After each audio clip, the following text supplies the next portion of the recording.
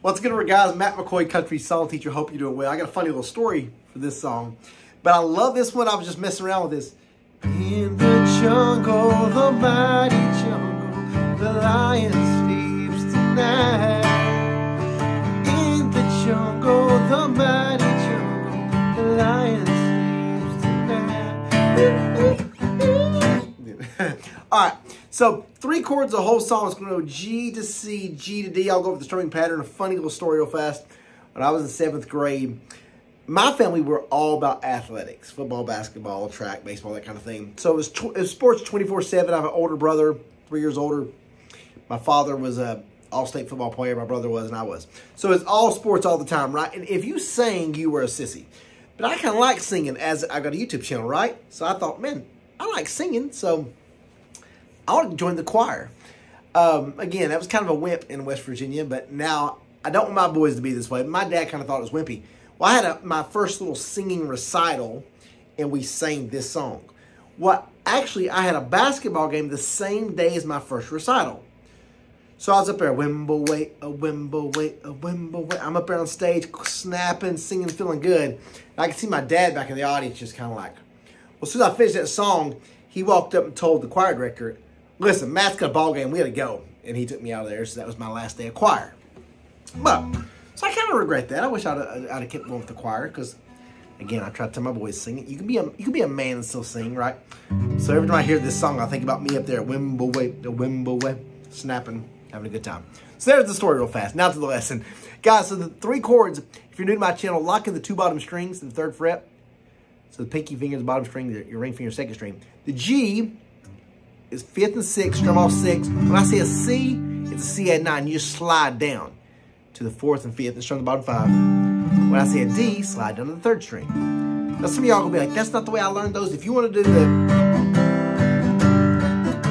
if you want to do your regular C chord, regular D, that, that's fine. But a little easy hack to do them is just move the top two fingers down. So the string pattern is going to back you do a pluck down, up, down, up. So pluck down, up, down, up and go to C. And when I say pluck, you're plucking the top two or three strings. Pluck down, up, down, up, pluck down.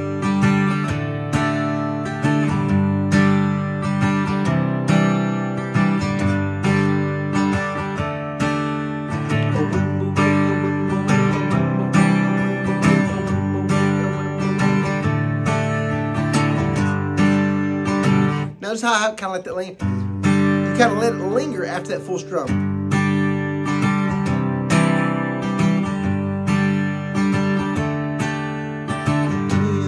Jungle,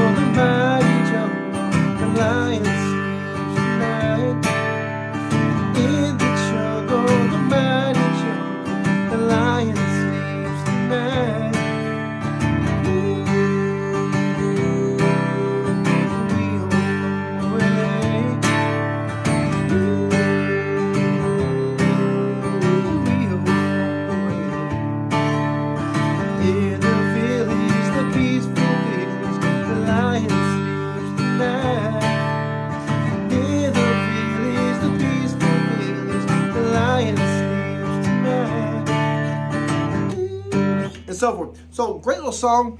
Like I said, if you're a beginner and you struggle, you're just learning guitar, you're like, Matt, I follow you for them easy, simple lessons, not this crazy stuff. When you're a beginner, you're going to struggle even on the up strum. Up strums will be a little difficult. So start out, just do kind of down strums to get your timing down. In the jungle, the in the jungle, the mighty jungle, the lion see how I did that? All I did is four down strums because you're listening for that timing of the chord. You're saying, what are the chords? What's the order of the chords? What's the timing? That's how you learn any song. What are the chords? What's the order of the chords? What's the timing that you stay on each chord for? So you can you can do palm mute, string stops, whatever, but you're listening for that timing. If you're a beginner, you just start with down strums.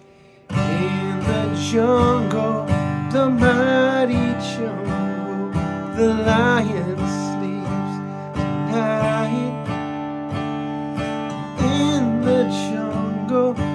quiet jungle the lion am tonight.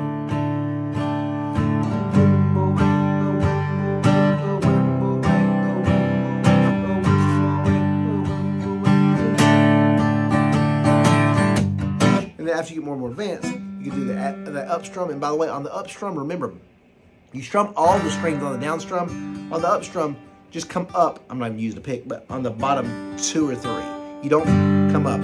Somebody didn't teach me that first. You don't come up on every single string. Just kind of pick the bottom two. So, quick little lesson on this Monday or whatever day you're watching this. Little three chord lesson. Um, I probably should work on a three chord songbook. As you know, I've got a lot. My I'm known for my four chords: G, C minor, and D. And I've got excuse me, uh, four, uh, four four chord songbooks, two worship, two country.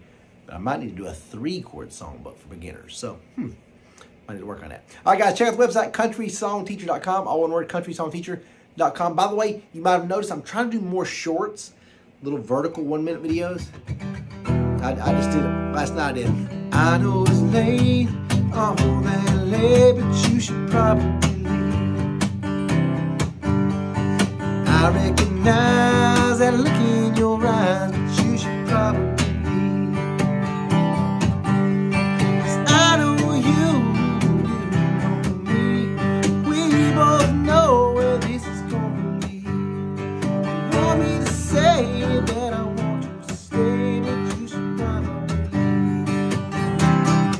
Did that little Chris Stapleton. So I'll, I'll try to do some guitar tips.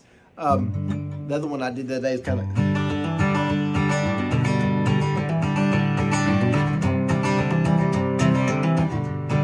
I did a little strumming tip. So be on the lookout for more and more shorts coming my way.